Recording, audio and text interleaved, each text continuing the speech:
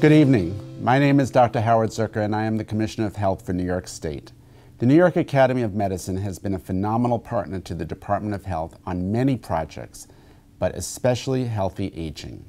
The department and the New York Academy of Medicine have worked closely together on age friendly health improvement programs that address the social determinants of health, an essential strategy for building healthier communities. In 2017, this partnership resulted in the AARP and the World Health Organization certifying New York as the nation's first age friendly state. A year later, NYAM helped the state develop and launch the Health Across All Policies initiative, which aligns the work of all state agencies at systems level to ensure that all older New Yorkers can access services, participate in civic activities, and travel safely and efficiently in their communities.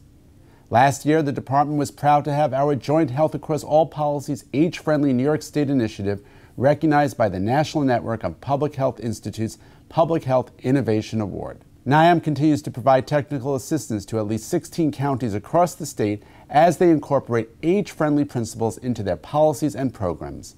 And during this pandemic, which has brought chronic anxiety and uncertainty to the lives of so many older New Yorkers and vulnerable populations, NYAM has maintained its important age friendly work to address isolation among older adults. New York State is immensely fortunate to have such an innovative, resourceful, and above all, caring and compassionate ally, especially now during our historic fight against COVID 19.